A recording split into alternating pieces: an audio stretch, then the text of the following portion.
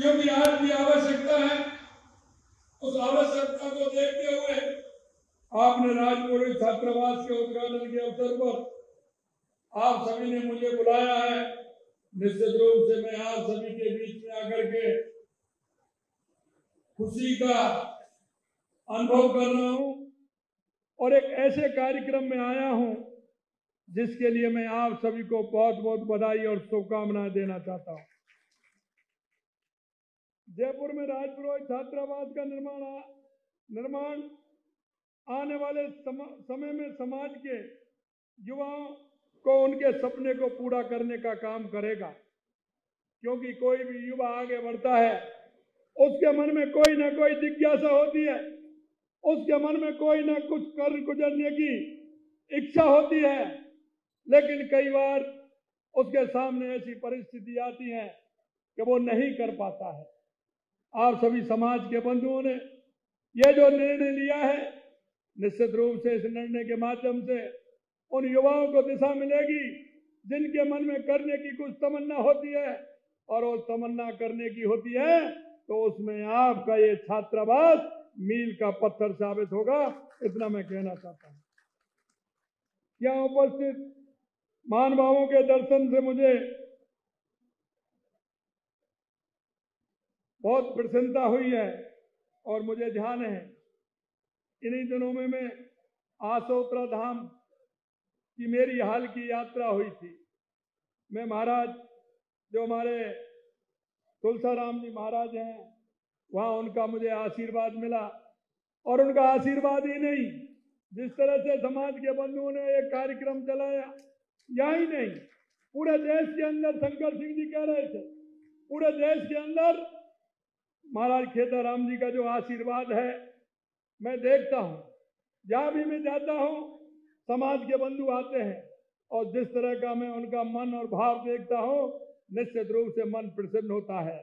उन्होंने अपनी इस राजस्थान की धरती से, इस राजस्थान की मिट्टी से जाकर के पूरे देश के अंदर में जो खुशबू फैलाने का काम किया है, निश्चित रूप से मैं मानी हमारे खेताराम जी महाराज जी के जो उनका आदेश और उनकी प्रेरणा और उनके आशीर्वाद से जो हमें मिला है, वो पूरे देश के अंदर हम उस खुशबू को फैला रहे हैं। यही नहीं, मैं आपसे निवेदन करना चाहता हूँ कि यह छात्रावास समाज के युवाओं को गुणवत्ता, शिक्षा प्रदान प्राप्त करने के लिए एक मज़बूत आधार भी बनेगा। हम जानते हैं कि किसी, हम जानते हैं कि शिक्षा किसी भी व्यक्ति और समाज के विकास का आधार होती है। शिक्षा से ही ज्ञान प्राप्त होता है, शिक्षा से ही कौशल विकास होता है और शिक्षा से ही समाज में सकारात्मक बदलाव भी होता है और शिक्षा से ही समाज का उद्धार भी होता है, क्योंकि आने वाले समय में यह आधुनिक युग में शिक्षा बहुत ही महत्वपूर्ण है। हम सभी को ध्यान भी देना चाहिए। हमें हमारे उन सभी बच्चों को, हमारे युवा भाइयों को दिशा देने का काम भी हमें करना चाहिए। शिक्षा में आत्मनिर्भर बनाती है और बेहतर जीवन जीने का मार्ग भी प्रदर्शित करती है। ग्रामीण क्षेत्रों के विद्यार्थियों को कई बार उच्च शिक्षा नहीं मिल पाती है। किसी कारण से वो प्रतियोगी परीक्षाओं में भाग नहीं ले पाते हैं। लेकिन ये अच्छा आपका सोच, आपका जो विजन है, इस विजन के माध्यम से ऐसे विद्यार्थियों को यह छात्रावास वरदान साबित होगा। यही नहीं, छात्रावास में केवल रहने, खाने की सुविधा प्रदान हो, ऐसा नहीं, बल्कि एक सुरक्षित और सहायक वातावरण भी प्रदान होता है, जिससे उसका आगे जो वातावरण बनता है, उसमें उस बच्चे का आगे जो उसकी खूबी और हॉबी होती है, उसके माध्यम से वो काम करता है। राजपुरोहित समाज ने एक आधुनिक सुविधाओं से सुसज्जित, मुझे विश्वास है कि ऐसा एक छात्रावास बनवाया है, जो निश्चित रूप से छात्रावास विद्यार्थियों को एक शांत और आरामदायक वातावरण प्रदान करेगा, जो पढ़ाई में सहायक भी होगा। मेरे प्यारे भाइयों, मित्रों में आप सभी को, सभी बहुत ही भाग्यशाली हैं, जिन्हें छात्रावास में रहने का अवसर मिल रहा है। इसका पूरा फ़ायदा उठाएँ, कठिन परिश्रम करें और अपने लक्ष्य को प्राप्त करें। स्वामी विवेकानंद जी ने कहा था कि इक्कीसवीं सदी भारत की होगी और इक्कीसवीं सदी भारत की होगी। और उन्होंने कहा कि, उठो जागो और इस देश दुनिया पर छा जाओ उस उस दृष्टि से ये हमारा जो छात्रावास है, निश्चित रूप से स्वामी विवेकानंद जी ने कहा था, उस ओर ये छात्र हमारे चलेंगे और देश दुनिया में अपना नाम करेंगे, ये मुझे विश्वास है। यही नहीं मेरे भाई और बहनों, छात्रावास समाज के युवाओं का एक मंच प्रदान भी करेगा। जैसा मैंने कहा, भारत एक युवा देश है। हमारे और हमारे प्रधानमंत्री नरेंद्र मोदी जी की प्राथमिकता है कि उन्होंने युवा शक्ति राष्ट्र शक्ति के रूप में पहचान मिले और दुनिया में बढ़ता हुआ भारत का गौरव हो और हमारी ये पीढ़ी, आने वाली युवा पीढ़ी दुनिया में अपना नाम रोशन करे। प्रधानमंत्री जी ने शिक्षा प्रणाली को रोज, रोज़गार उन्मुखी बनाने, युवाओं को इक्कीसवीं सदी की चुनौतियों का सामना करने के लायक बनाने और उन्हें वैश्विक नागरिक के रूप में तैयार करने के लिए राष्ट्रीय शिक्षा नीति 2020 लागू की है। प्रधानमंत्री जी के नेतृत्व में 2014 के बाद देश में जो परिवर्तन आप देख रहे हैं, वो किसी भी क्षेत्र में हो 2014 के बाद आपने जो देश में परिवर्तन दिखा है, चाहे वो गरीब कल्याण की योजनाएँ हो, चाहे हमारे विकास की योजनाएँ हो, या हमारे सीमाओं की सुरक्षा हो, या आतंकवाद, नक्सलवाद का खात्मा हो, या दुनिया में बढ़ता हुआ भारत का गौरव हो यह 2014 के बाद आपने देखने को मिला है। मैं आपसे यही कहना चाहता हूँ, हमारी शिक्षा के बुनियादी ढांचे जब तक ठीक प्रकार से नहीं होगा, हमारी शिक्षा जब तक हमारी गुणवत्ता पूर्ण नहीं होगी, हमारी शिक्षा रोज़गार उन्मुख नहीं होगी, हमारी शिक्षा कर्तव्य निष्ठ नहीं होगी, हमारी शिक्षा अगर कर्तव्य निष्ठ का उसमें उदाहरण नहीं होगा तो कोई मतलब नहीं होगा, क्योंकि हमारी संस्कृति, हमारा विचार, हमारे उन मुनियों ऋषियों की हमारी वो धाती, जिन्होंने हमारे को संस्कार दिए, उन संस्कारों पर चल करके इस देश और दुनिया में भारत को आगे बढ़ाने के लिए हमें काम करना है। मैं आपसे इतना ही कहना चाहता हूँ, हम प्रत्येक, हम प्रदेश के प्रत्येक संभाग में Rajasthan institute of technology Rajasthan institute of medical science स्थापित कर रहे हैं। तकनीकी से जुड़े नए विचारों को प्रोत्साहन करने के लिए अटल इनोवेशन स्टूडियो एक्सीटर शुरू किया है। हमारी सरकार राजस्थान में खेल आधुनिकरण के मिशन को शुरू कर रही है। हमने स्पोर्ट के क्षेत्र में भी काम कर रहे हैं। यहाँ स्पोर्ट की सुविधा नहीं थी। लेकिन हमारी सरकार ने 2025 के ओलंपिक को देखते हुए हमारा युवा किस तरह से आगे निकल करके आए? पूरे राजस्थान का युवा जो अपने क्षेत्र में, किसी भी क्षेत्र में काम कर सकता है, खेल के क्षेत्र में काम कर सकता है, युवाओं की प्रतिभा निकल करके आए, उसके लिए भी हमने स्पोर्ट की, यूनिवर्सिटी बनाने का काम हमारी सरकार करेगी। यही नहीं, पिछली सरकार ने हमारी युवा शक्ति को निराशा किया गर्त में धकेलने का काम किया आए दिन होने वाले पेपर लीक होते थे, उनकी घटनाएँ किस तरह की होती थी, कड़ी मेहनत करने वाला, वो विद्यार्थी गाँव और गाँव और ढाणी से आने वाले विद्यार्थी, वो रोता था। क्योंकि वो पेपर की तैयारी करता था। पिताजी उसके पेपर की तैयारी कराने के लिए उसको हॉस्टल दिलाते थे, उसको कोचिंग कराते थे, लेकिन आए दिन जिस तरह से आप देखते थे, पेपर लीक हो जाते थे। आपने देखा होगा, हमने हमारे संकल्प पत्र में वायदा किया था कि किसी भी पेपर को लीक नहीं होने देंगे। और जिस तरह से पेपर लीक हुआ है, उनको हम बख्शेंगे नहीं। आपने देखा होगा, आए दिन देख रहे होंगे। अभी तो एक ही, एक दो चल रहे हैं, लेकिन आने वाले समय में और भी आपको देखने को मिलेगा। आपने देखा होगा, लगभग 108 लोगों को गिरफ़्तार किया गया है। ये वो लोग हैं, जिन्होंने युवाओं के सपनों को तो चकनाचूर किया, उन्होंने उस गरीब बच्चे के सपनों को चकना चकनाचूर करने का काम किया। और हमने जनता के बीच में कहा था कि ऐसे लोग जिन्होंने उन युवाओं के सपनों को टूर टूर किया है, हम उनको छोड़ने वाले नहीं हैं। और अभी आप देखते जाइए, अभी तो 108 गिरफ़्तार हुए हैं। आने वाले समय में कोई भी हो, कैसा भी हो, किसी को बख्शा नहीं जाएगा। यह मैं आपसे कहना चाहता हूँ। मित्रों, पेपर लीक के अलावा अंतिम तरीकों से परीक्षा पास करने वाले अयोग व्यक्ति महत्वपूर्ण पदों पर पहुंचेगा। तो वो नुकसान नहीं पहुंचाएगा क्या? अगर अयोग व्यक्ति को कहीं बैठाओगे तो वो क्या करेगा? नुकसान पहुंचाएगा ना? और हमारे पास जब योग्य है तो अयोग्य की क्यों? लेकिन उस सरकार ने देखा कि जिस तरह से उन्नीस में से सत्रह पेपर लीक करने का काम किया इसने हम गंभीरता से लिया है। और हमने कहा कि हम एस गठित करेंगे। हमने वो गठित भी कर दिया और उन्होंने काम भी पूरा करना प्रारंभ कर दिया है। यही नहीं मेरे भाई और बहनों आपने देखा होगा, हमारी राज्य सरकार ने आपने प्रदेश के युवा बेरोजगारों के लिए हमने कहा कि सत्तर हज़ार पदों को हम भरेंगे, लेकिन हम आपसे कहना चाहते हैं, सत्तर हज़ार तो हमने कहा है, लेकिन इससे कहीं ज़्यादा पदों को भरने का हम काम करेंगे। हमने युवाओं से, हमने युवाओं से कहा है कि आप चिंता मत करिए, जितनी वैकेंसी होंगी उतनी करेंगे। और जितनी हमें आवश्यकता होगी, उतनी भर्ती नहीं भी निकालेंगे। लेकिन युवाओं को हम आगे बढ़ने का मौका देंगे। ये हम विश्वास दिलाते हैं।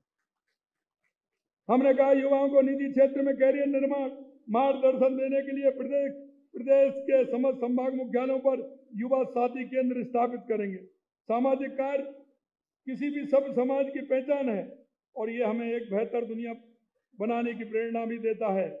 मैं आपसे इतना कहना चाहता हूँ, मेरे भाइयों के युवा समाज का भविष्य होते हैं, उसका विकास, राष्ट्र के विकास का आधार होता है। युवा समाज का भविष्य होते हैं और युवा राष्ट्र का विकास का आधार होता है। युवाओं के जीवन में सकारात्मक बदलाव लाने का कोई भी प्रयास राष्ट्र राष्ट्र निर्माण और राष्ट्र को मजबूती प्रदान करता है। मैं इस छात्रावास में, के निर्माण में राजपुरोज समाज के सदस्यों के अथक प्रयासों और समर्पण की सराहना करता हूँ और ऐसे उन भामाशाओं को भी जिन्होंने इसमें अपना सहयोग दिया है, उनको भी मैं बहुत बहुत धन्यवाद और साधुवाद देना चाहता हूँ। मैं आपसे अंत में निवेदन करना चाहता हूँ और वह निवेदन मेरे भाइयों में यह करना चाहता हूँ कि समाज के अंदर बहुत बड़ी ताकत होती है। सरकार करती है, लेकिन समाज का जब सहयोग मिलता है तो सरकार की भी काम करने की गति मिलती है। और सरकार उसी हिसाब पर काम करती है। मैं आपको इतना विश्वास दिला सकता हूँ कि आप समाज के द्वारा जो काम करेंगे, हर कार्य में समाज आपका सहयोग करेगी। निश्चित रूप से कोई किसी तरह की वो आएगी बात आएगी तो सरकार आपके साथ है यह मैं विश्वास दिलाता हूँ। देश के निर्माण के लिए, प्रदेश के निर्माण के लिए एक वातावरण बनाना भी आवश्यक है। और उस वातावरण के माध्यम से समाज में आने वाली उस पीढ़ी को रास्ता दिखाने का भी हम काम करेंगे। मैं आपसे इतना ही कहना चाहता हूँ। हम इस प्रदेश के एक नागरिक होने के नाते, हम इस देश के नागरिक होने के नाते हमारे भी कुछ कर्तव्य हैं। और हमारे कर्तव्य यह है कि हम हमारे समाज को, हमारे राष्ट्र को आगे बढ़ाने के लिए हमको क्या करना है। क्योंकि युवा जब 18 साल का होता है, उसे वोट देने का अधिकार मिलता है। बड़ी उत्सुकता होती है उसकी वोट देने की, जब वो मतदाता मतदाता सूची में उसका नाम आता है। लेकिन मेरे युवा भाइयों मैं एक और निवेदन आपसे करना चाहता हूँ। जैसे ही आपको मतदान देने की ज़िम्मेदारी मिलती है, उसका अधिकार मिलता है, उसके साथ साथ कुछ कर्तव्य भी जुड़ जाते हैं। और कर्तव्य जुड़ जाते हैं कि हम राष्ट्र के लिए प्रदेश के लिए हम क्या कर सकते हैं? और यह कर्तव्यों के माध्यम से हम काम करते हैं। हमारे समाज हज़ारों सालों का समाज जिस तरह से चला है, जिस भाईचारे से चला है, जिस संस्कारों से चला है, हमें उन संस्कारों को भी नहीं छोड़ना है। उन संस्कारों के आधार पर चलना है। यही लिखा है? अधिकार तो लगे, हर आदमी अधिकार मानता है, लेकिन कर्तव्यों को भी हमें ध्यान में रखना है और कर्तव्यों के माध्यम से हमें हमारे राष्ट्र और प्रदेश को मज़बूत करना है। आप अब देखते हैं, हमारी केंद्र की स्कीम हो या हमारी राज्य सरकार की स्कीम हो यह स्कीम उस गरीब कल्याण के लिए है। हमारी स्कीम उस अंत अंत में पंक्ति में व्यक्ति बैठा उसके लिए है। हम पंडित दीनदयाल उपाध्याय के अंत्योदय के भाव को लेकर के चलते हैं। इसलिए मैं आपसे निवेदन करना चाहता हूँ कि हम एक नागरिक होने का कर्तव्य, चाहे हमारे गाँव में हो, चाहे हमारी ढाणी में हो, चाहे हमारे मोहल्ले में हो, चाहे हमारे अपार्टमेंट में रहता हो, कोई भी ऐसा व्यक्ति हो, चाहे आपके पास में वो काम करता हो, कोई भी ऐसा व्यक्ति हो जिसको सरकार की योजनाओं की आवश्यकता है, जिसको सरकार की योजनाओं का लाभ मिलना चाहिए, जिसकी समाज, जिस जिस उद्देश्य के लेकर के चल रही है, उससे उसका भला होने वाला हो। हम उस समाज के उस अंतिम पायदान पर खड़े हुए व्यक्ति को बुला करके, उसका सहयोग बन करके, उसको आगे पंक्ति में खड़ा करने का काम हम कर सकते हैं।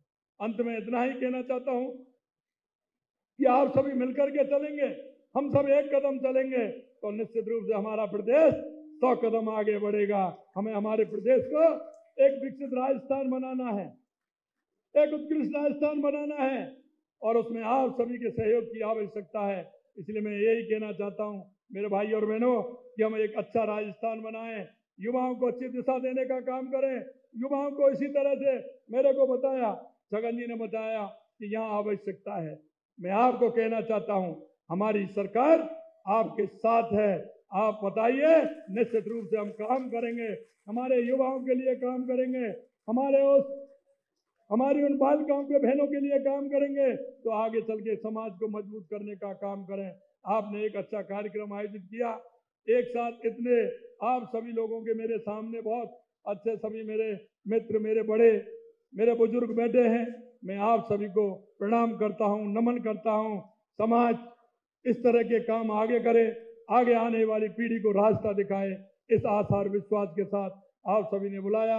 और मंच पर विराजमान हमारे सभी संत गणों को भी प्रणाम करता हूँ, आप सभी को प्रणाम करता हूँ। आप सभी को बहुत बहुत धन्यवाद। नमस्कार। जय हिंद, जय भारत, जय राजस्थान। बोलिए जय भगवान परशुराम की। सीताराम जी महाराज की। आत्मानंद जी महाराज की। और एक और मैं कहना चाहता हूँ, क्योंकि वन और पर्यावरण मंत्री जी मेरे पास बैठे हैं। देश के यशस्वी प्रधानमंत्री नरेंद्र मोदी जी ने कहा है कि हम एक पौधा माँ के नाम लगाएँ। क्योंकि पर्यावरण के क्षेत्र में हम सब जानते हैं। कई लोग कह रहे थे। कई लोगों ने कहा था। वह हिंदू की परिभाषा भी बता रहे थे। अरे हिंदू तो वो है जो वृक्षों को भी पूजता है, पहाड़ों को भी पूजता है, नदियों को भी पूजता है। अगर एक एक चीटी भी अगर पैर से कहीं दब जाती है तो आह भराती है। ये हिंदू इसे कहते हैं। मैं आपसे इतना ही कहना चाहता हूँ कि माँ के नाम एक पेड़ अवश्य लगाएँ, उसकी परवरिश करें, पर्यावरण के क्षेत्र में भी हम काम करें, क्योंकि हमारी सरकार ये काम भी करती है। आपने देखा होगा, जब 2014 में माननीय प्रधानमंत्री जी आए थे तो लिंग अनुपात बहुत कम था। हरियाणा, राजस्थान इस तरह के स्टेट थे, लेकिन उन्होंने बेटी बचाओ, बेटी पढ़ाओ का नारा दिया, उससे आज लिंग अनुपात बराबर का आया है। हम सामाजिक सरोकार के काम भी करते हैं, इसलिए एक पेड़ माँ के नाम लगाइए और पर्यावरण को आगे बचाइए। इतना मेरा आप सभी से निवेदन है। बहुत बहुत धन्यवाद। नमस्कार। जय हिंद। जय भारत।